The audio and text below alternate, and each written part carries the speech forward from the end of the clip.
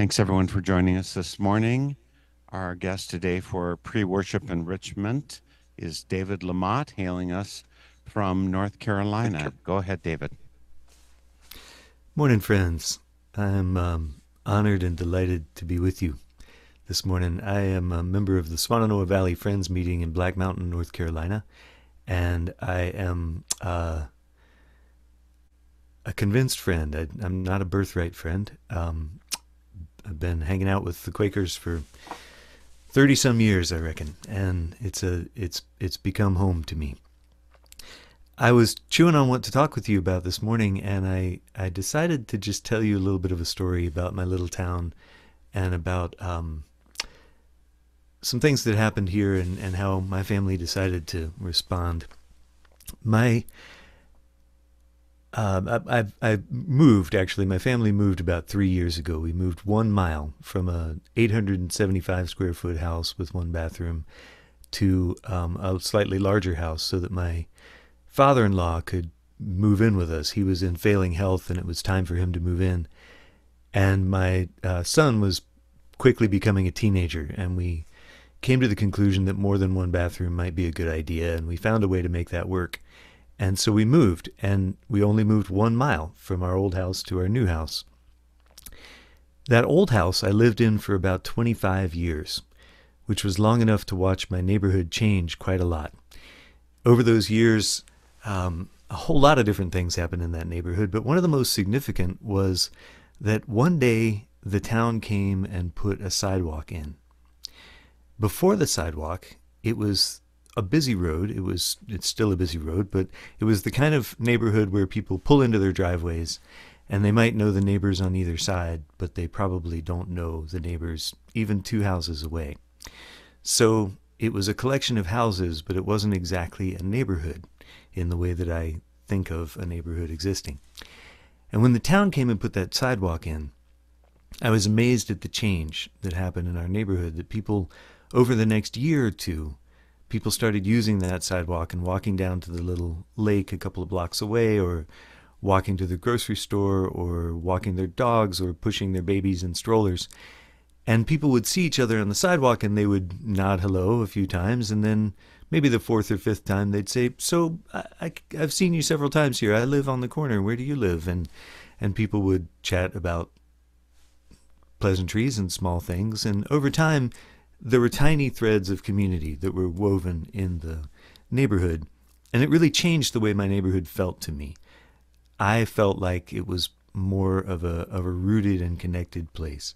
And I was so happy to see that happen. I think that community is kind of the heart of all of it and it was beautiful to see these connections across a lot of lines that can se- that, that can separate people, including lines of politics and income and skin tone and orientation and many many other things. Um, ability. There was a, a, couple that were both sight impaired living across the street, and um, some fairly large homes and some small trailers, and um, and people began to know each other. And I find that that matters on so many levels, but one of them is that when things go wrong, there's a little bit of relationship to lean into there. When somebody's tree falls in somebody else's yard or somebody's dog is driving everybody crazy, you have a little bit of relationship. You know, oh, I see you on the sidewalk from time to time, and um, I just want to check in about this. And that really changes the conversation rather than a complete stranger knocking on your door with something difficult to talk about. So those light connections really matter, um, not just the deep connections between friends, it seems to me, or between neighbors rather. So I don't know if y'all recall, but back in 2016 there was this election, this national election.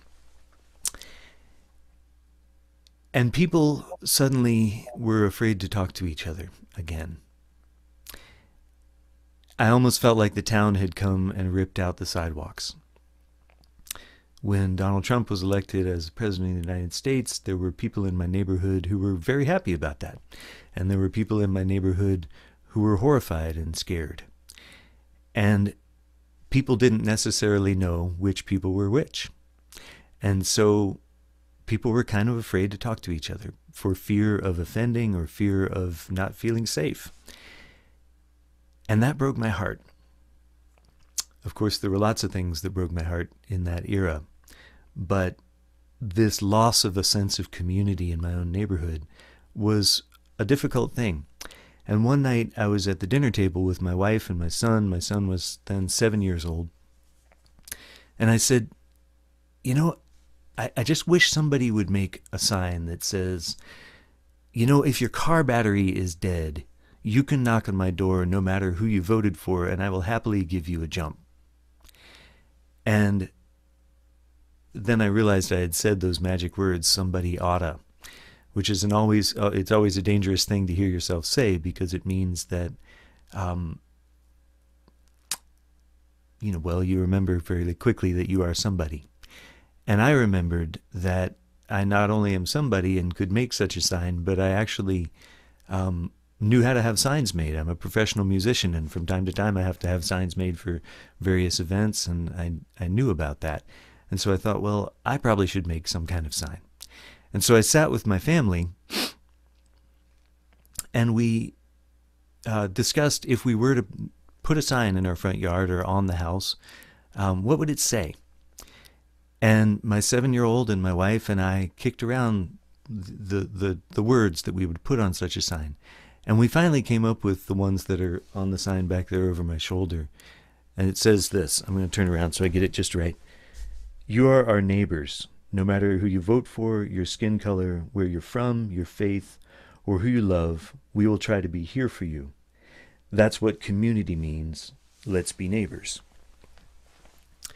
And on Christmas Eve of 2016, my son and I took a little stepladder out to the front of the house and we nailed that sign to our house, a, a bigger version of it, three feet wide and eight feet tall.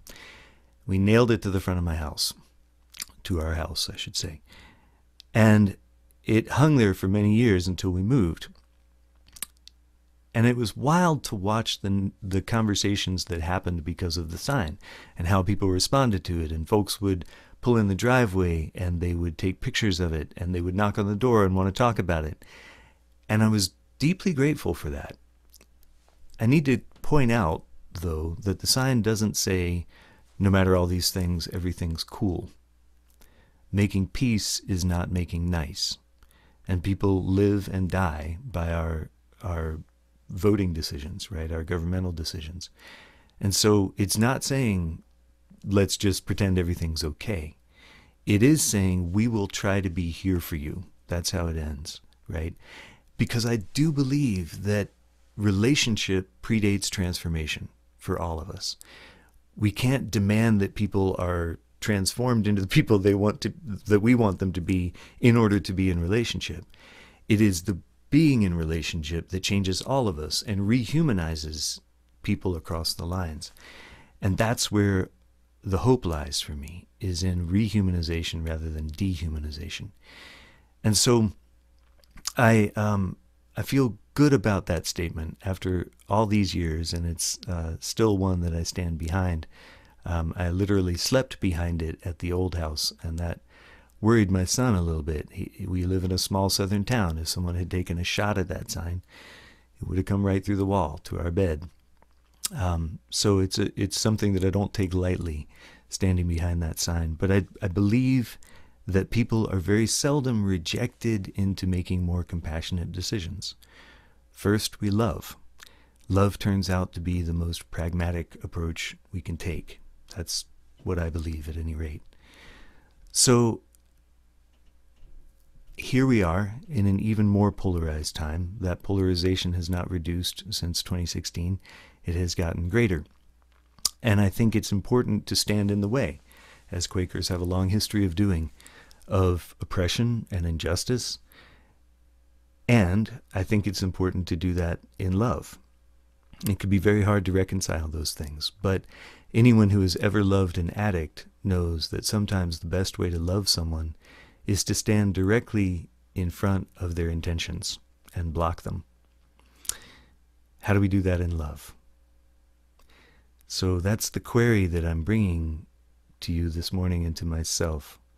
How do I stand for what I believe, sometimes against the wishes of people I love, and do that in love? That for me these days is perhaps the hardest question, and it's the one I'm sitting with. So I'll leave it there with y'all. Um, y'all is second person plural, just to clarify. Being a southerner, I'll just tell you about that.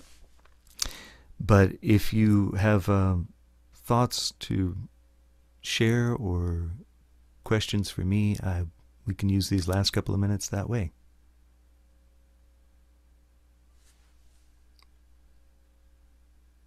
Again, I'm grateful to be with you this morning. I have one request, David, and that is yeah. uh, during the early part of worship, would you please repeat the query one more time for sure. people who are joining a little bit later and to remind us so we can mm-hmm. more easily carry that with us in worship? Happy to do that.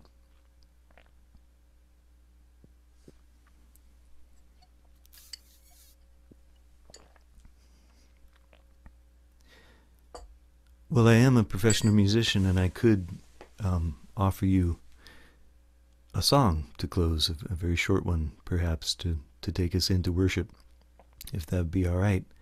That'd be um, great. And I will say, um,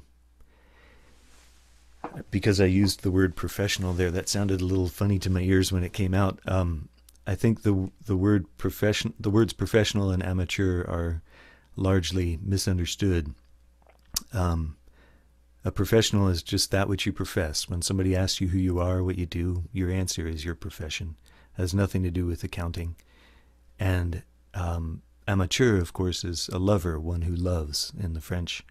Um, and so, regardless of whether we are professionals or not, may we always be amateurs. Here's a song I didn't write. Um, Sibelius and Lloyd Stone wrote it before I could get around to it.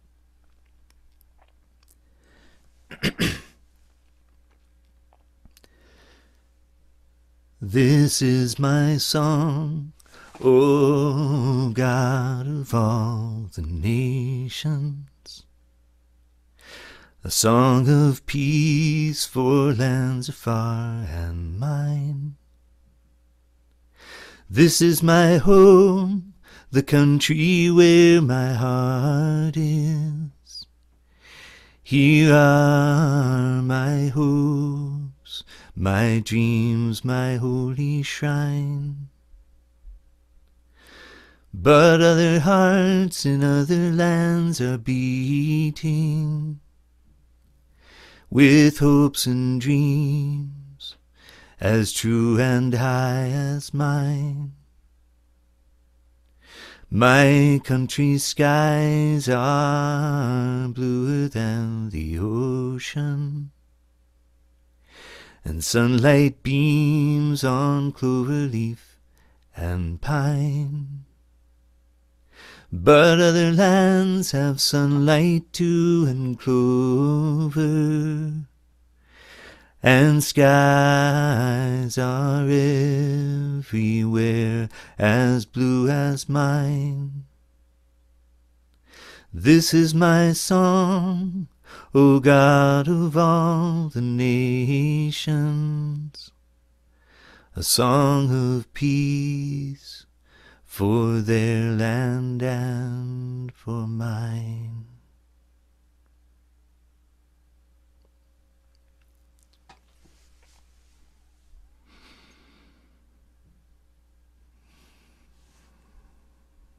Thank you, David. That was wonderful.